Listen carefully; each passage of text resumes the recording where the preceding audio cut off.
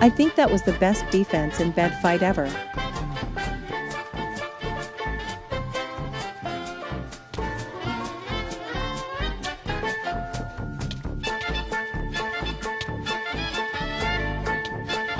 I just didn't give him any chances.